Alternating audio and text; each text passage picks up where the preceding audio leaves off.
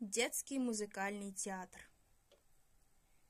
В Москве на проспекте Вернадского стоит красивое здание Московский государственный детский музыкальный театр. Дети смотрят и слушают здесь музыкальные спектакли. Самые маленькие дети слушают оперы сказки, смотрят балеты сказки. Это русские народные сказки. Сказка Метерлинка – «Синяя птица», сказка Киплинга, «Маугли» и многие другие. Организовал этот уникальный театр талантливый режиссер-энтузиаст Наталья Ильинична. Родилась в музыкальной семье. Ее отец был композитором, мама хорошо пела. Наташа рано полюбила музыку, театр. Она мечтала о работе в театре. В 1918 году в Москве Наталья Ильинична создала первый детский театр.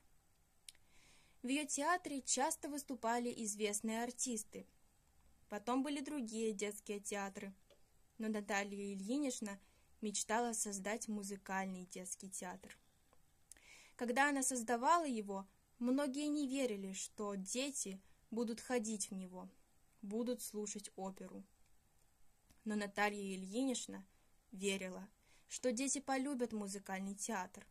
И здесь, в этом театре, будут идти детские музыкальные спектакли. Сейчас это очень популярный детский театр, и дети, и их родители с удовольствием слушают оперы, смотрят балеты. Новое здание театра построили в 1979 году – Здесь все удивительно красиво и интересно. В фойе нас встречают любимые герои. Деревянный мальчик Буратино, обезьянка, клоуны. А вот светлый дворец. Здесь живет сказочная синяя птица. И поют живые птицы. А вот комната, где дети могут послушать любимые сказки. Здесь бывают и иностранные журналисты – они смотрят музыкальные спектакли, пишут о театре, ведь этот театр пока единственный в стране.